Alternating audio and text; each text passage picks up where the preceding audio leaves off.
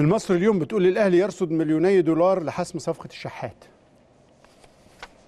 ما المصري اليوم ما هي قالت. ما عايز أقول لك ال- العهده الأسبوع الأسبوع اللي فات قعدت معاه مع حسين الشحات فترة. والله؟ قابلته؟ آه جه كان في بوابة أخبار اليوم عاملة حوار آه مفتوح معاه. حوار آه. فكانت جلسة طيبة جدا. الحقيقة صديقنا ولد بسيط و- محمد البهنساوي كان مهتم جدا بيه.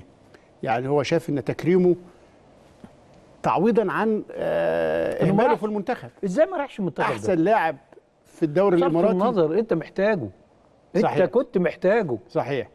فعايز أقول لك حجم الحب اللي عنده للنادي الأهلي مش طبيعي. يعني في عز ما هو مبسوط في الإمارات طبعا. بيحقق مجد كبير. طبعا عنده عقد كبير في الإمارات. الناس مش بخلانه عليه بحاجة. واخد أحسن لاعب واخد بطولة. معولين عليه كتير. لما تساله إيه طموحك وإيه هدفك وإيه أملك يقول لك ألبس فانيلة الأهلي.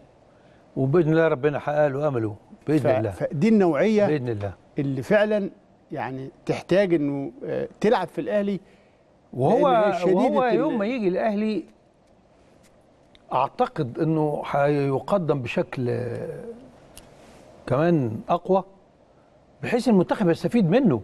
ما هو ما ينفعش إنك يبقى عندك لعيب كده بال... بالإمكانيات دي. بالامكانيه دي وبره المنتخب. يعني حاجة غريبة. ما علينا. طيب. الشروق بقى بتقول إيه؟ عديت أنت المصري اليوم صح؟ ما خلاص ما اتكلمنا فيه. والله؟ تكلمت بما يكفي يعني؟ آه كفاية.